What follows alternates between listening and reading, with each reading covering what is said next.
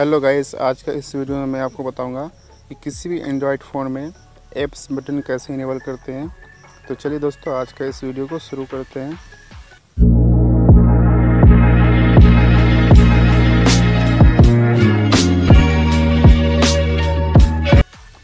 Well well, दोस्तों apps button enable करने के लिए आपको स्क्रीन को लॉन्ग प्रेस करना है।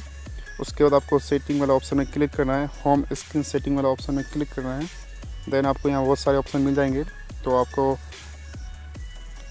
चौथा नंबर आपको दिख रहा होगा एप्स बटन का ऑप्शन तो सिंपली वहीं पे क्लिक करना है। देन आपको दो ऑप्शन मिल जाते हैं show apps button and hide apps button तो फ़िलहाल अभी मेरा हाइड एप्स बटन किया हुआ है। तो शो में क्लिक करके कॉर्नर में अप्लाई का बटन है तो वहीं पे क्लिक कर देना है। ऐसे आपका जो है एप्स बटन इनेबल हो जाएगा। आप देख सकते हैं कि मेरा हो चुका है। यहाँ पे देख सकते हैं लिखा हुआ है एप्स बटन यहाँ पे क्लिक करेंगे तो जितनी भी आपके मोबाइल में ऐप्स होंगे तो वो सारा हो जाएँगे। अदरवाइज़ ऐसे स्लाइड करके भी कर सकते हैं। आई होप आपको वीडियो पसंद आएगी। वीडियो पसंद आए तो वो लाइक कर दीजिए साथ में चैनल को सब्सक्राइब कर दीजिए इसी तरह का वीडियो इस चैनल पर आती रहती है।